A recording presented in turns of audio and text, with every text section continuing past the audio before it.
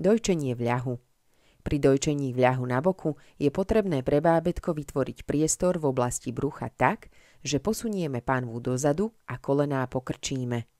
Bábetko by malo byť dostatočne nízko, aby sa na prsník prisávalo od spodu a malo hlavu v miernom záklone a nie v predklone.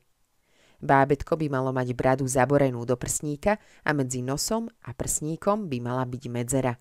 Ak sa namiesto toho bábetko nosom prsníka dotýka a prisatie nie je správne alebo je bolestivé, posunieme jeho telíčko viac dolu smerom k svojim stehnám, panvu posunieme ešte viac dozadu a bábetko prisunieme ešte bližšie k telu. Bábetko leží na boku, nie na chrbte. Pohodlie v tejto polohe dosiahneme, ak si dáme pod hlavu vankúš, prípadne aj vankúš na opretie za chrbát a medzi kolená. Laktačná poradkyňa Mamily vám ukáže, ako túto polohu môžete dosiahnuť so svojím bábetkom.